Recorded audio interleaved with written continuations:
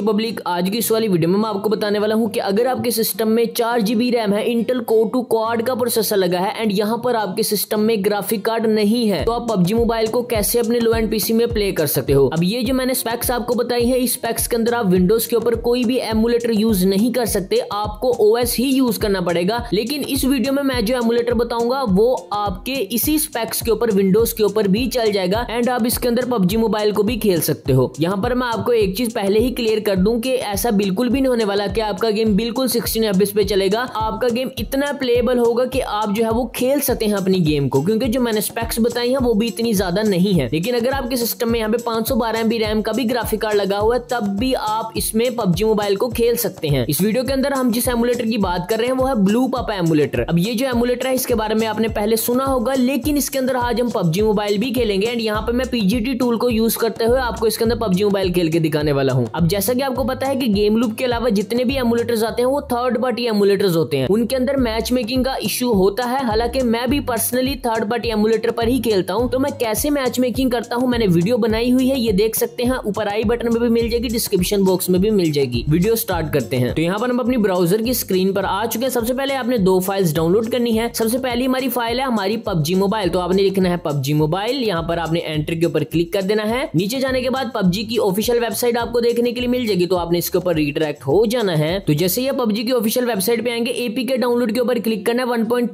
वाली जो फ़ाइल है, वही आपको डाउनलोड करनी है। अब हम क्या करते हैं, यहाँ से दूसरी फ़ाइल भी आपको बता देते हैं। तो दूसरी हमारी फ़ाइल है, वो है PGT G F X tool PGT AP K pure वाली वेबसाइट के ऊपर आपको चले जाना है। एंड यहाँ पर आपने डाउनलोड एपीके के ऊपर क्लिक कर देना है। जैसे आप क्लिक करेंगे, आपने नीचे स्क्रोल डाउन करना है यहाँ पर एपीके डाउनलोड के ऊपर क्लिक कर देना है। तो इस तरीके से यहाँ पर आप देख सकते हैं, हमारी दोनों की दोनों फाइल्स डाउनलोड हो जाएँगी। आफ्टर डाउनलोडिंग यहाँ पे PUBG mobile and PGT G F X tool अब हम क्या करते हैं? अपने ब्लू पपा एमुलेटर को इंस्टॉल करते हैं। सिंपल आपने डबल टैप करके ओपन कर लेना है। यहाँ पर ये चाइनीज़ करके आएगा। ये की के ऊपर क्लिक करें। वो डायरेक्टली सेलेक्ट करें कहाँ पे इंस्टॉल करना चाहते हैं। आठ जीबी की मिनिमम खाली होना चाहिए। यहाँ पे मैं इंस्टॉल कर लेता हूँ। इसको इंस्टॉल होने में थोड़ा सा टाइम ले सकता है। यहाँ पर देखे, जैसे ही इंस्टॉल होगा, आपने यहाँ पर कैंसिल के ऊपर क्लिक नहीं करना। ये चाइनीज़ वाले बटन के ऊपर क्लिक कर देना है। जैसे इसके ऊपर क्लिक करेंगे, थोड़ा सा आपका एमुलेटर हैंग होगा एंड यहाँ पर हमारा जो ब्लू पापा एमुलेटर है, वो यहाँ पर चल चुका है। स्टार्टिंग में ब्लू पापा एमुलेटर लोडिंग में थोड़ा सा टाइम लेगा तो आपने वेट कर लेना है। ब्लू पापा एमुलेटर चल जाने के बाद आपने मेनू के ऊपर क्लिक करके सबसे पहले की सेटिंग के ऊपर जाना है। एंड यहाँ पर आपने इसको बाय डिफ़ॉल्ट लहरे देना है। इधर से आपको जो रेजोल्यूशन है, वो यहाँ पे यही वाली रखनी है। इसको कम भी कर सकते हो अगर ग्राफिक कार्ड नहीं लगा। बट इसके ऊपर जाओ, आपको की मैपिंग भी देखने के लिए मिलेगी। कोर्स जो है, वो यहाँ पे आपको मिनिमम टू कोर्स चाहिए। इसलिए मैंने इंटेल कोर टू क्वाड का बोला था। अब यहाँ पर मेरे सिस्टम में चार कोर्स हैं तो यहाँ पे मैं यहाँ पे थ्री कोर्स रख देता हूँ। मेरे पास जो प्रोसेसर है, उसी का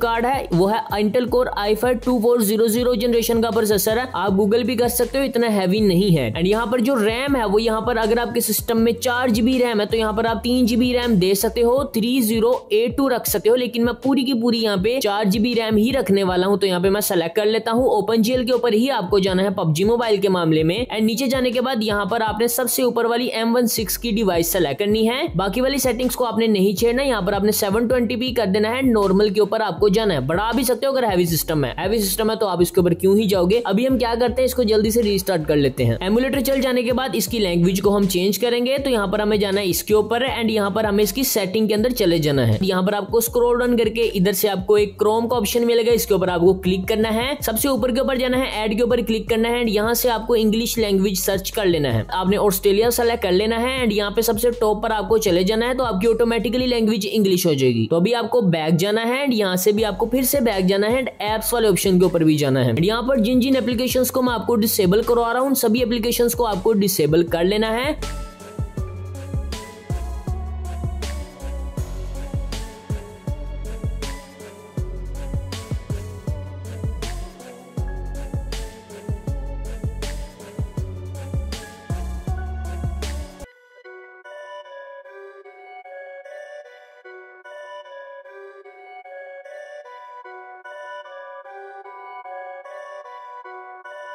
एप्लीकेशन डिसेबल कर लेने के बाद अभी हम PUBG and GFX tool install करेंगे। तो इंस्टॉल करने के यहाँ पर आपको दो तरीके मिलते हैं। सबसे पहला जो तरीका यहाँ पर आप देख सकते हो ड्रैग करके ना इस तरीके से आपने लाके पेस्ट करना है तो आपका PUBG mobile and GFX tool install हो जाएगा। लेकिन हम एपीके के ऊपर क्लिक करेंगे। उस डायरेक्टरी के ऊपर जाके हम इंस्टॉल करेंगे। हमारा PUBG mobile and GFX tool जल्दी जल्दी से इंस्टॉल हो जाएगा। इसको इंस्टॉल होने में आपको पंद्रह मिनट लगेंगे। मैं वीडियो को फास्ट फॉरवर्ड कर रहा होता हूँ तो इसलिए आपको बहुत प्रोसेस फास्ट दिख रहे होते हैं। ये चीज़ याद रखें आप। आफ्टर इंस्टॉलेशन अभी हमें क्या करना है? यहाँ पर शॉर्टकट बनाना है। किसी भी एपीके का शॉर्टकट बनाना चाहे थ्री डॉट्स पे क्लिक करें नंबर टू के ऊपर आपको चले जाना है। ऑटोमेटिकली देख सकते हैं, यहाँ पे डेस्कटॉप का आपको शॉर्टकट बन चुका है। तो अभी हम पबजी मोबाइल को ओपन कर रहे हैं।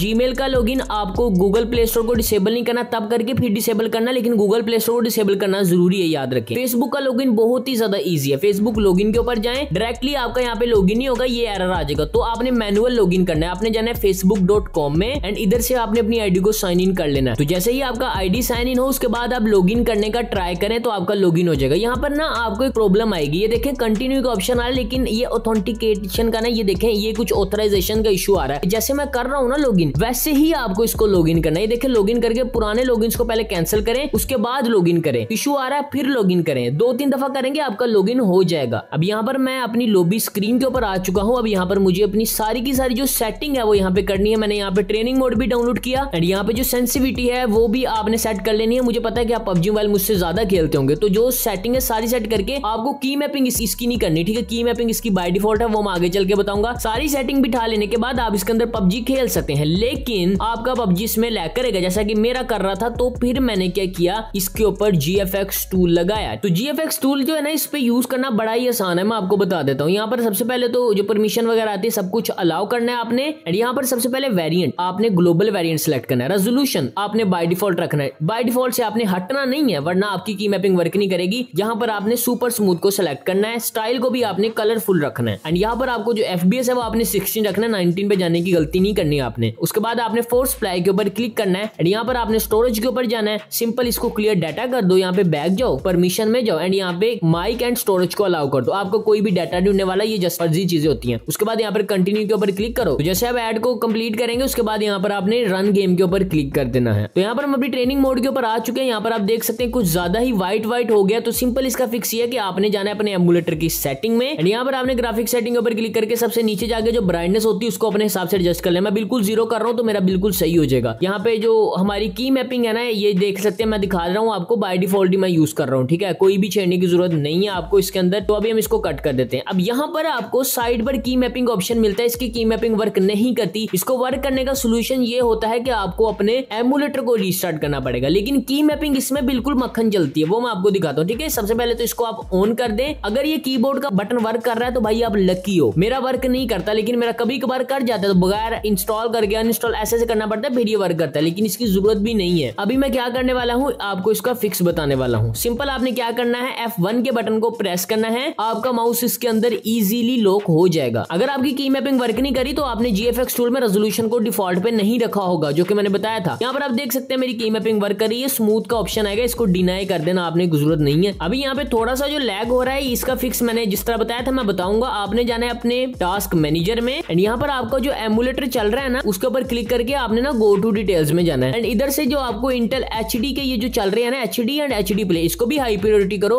और ऊपर जो आप ये देख सकते हैं ना ब्लू स्टैक जीपी करके आ रहा है, इसको भी हाई प्रियोरिटी कर दो, ठीक है? इसके जितने भी प्रोग्राम है, उन सबको हाई प्रियोरिटी कर देना। उसके बाद आपका ये जो फ्रीजिंग हो रहा है ना, वो बहुत हद तक कम हो जाएगा। अब यहाँ पर मेरा फ्रीजिंग इसलिए भी हो रहा है क्योंकि मैं इस टाइम मेन पीसी पे नहीं बैठा यहाँ पर। इस पीसी में जो इंटेल कोर आई ज़ीरो वाला जो ग्राफिक कार्ड है, वही यूज़ हो रहा है। तो जिसकी वजह से ये प्रॉब्लम करा है। तो इस तरीके से आपका पबजी मोबाइल चल जाएगा। ये एंड पीसी के लिए है एमुलेटर ये बात आप याद रखें हाई एंड पीसी के लिए एमुलेटर नहीं है। हाई एंड पीसी में ये प्रॉब्लम कर सकता है। लो एंड पीसी वालों के लिए गेम चल जाए, उतना ही ज़रूरी होता है। तो इस हिसाब से आपका गेम इसमें सही चल जाएगा, ठीक है? थोड़ा बहुत लैग होगा, फिर से मैं मैच मेकिंग का आपको बता दूँ कि मैच मेकिंग की वीडियो आपको डिस्क्रिप्शन बॉक्स में मिलेगी। जीएफएक्स टूल सेफ़ है कि नहीं? अब इसके ऊपर एक पूरी बहस बनती है। हालाँकि हंड्रेड परसेंट सेव है, तब भी सेव है या नहीं, इसकी भी वीडियो आपको नीचे डिस्क्रिप्शन बॉक्स में मिल जाएगी। आप वो भी देख सकते हैं। मिलते हैं अगली वीडियो में, तब तक के लिए खुदा हाफिज।